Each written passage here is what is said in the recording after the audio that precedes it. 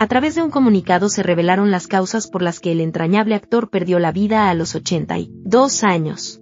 En las primeras horas de este jueves, 28 de septiembre, la familia del actor Michael Gambon, conocido por interpretar a Dumbledore en Harry Potter, informó de su lamentable fallecimiento a los 82 años a causa de una neumonía. Estamos destrozados por anunciar la pérdida de Michael Gambon, se lee en el comunicado emitido por su publicista, Claire Dabbs, en nombre de su esposa y su hijo.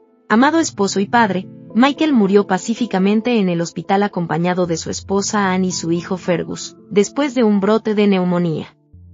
Michael tenía 82 años, continúa. En el comunicado, finalmente la familia solicita que se respete su privacidad agradeciendo los mensajes de amor y apoyo. Michael Gambon se dedicó a actuar en cine, teatro y televisión por más de 60 años. Pero uno de sus personajes más entrañables es el de Albus Dumbledore en Harry Potter, pues precisamente él fue quien sustituyó al fallecido Richard Charris, quien interpretó primero a Dumbledore, por lo que Gambon apareció en la saga a partir de la tercera película Harry Potter y el prisionero de Azkaban.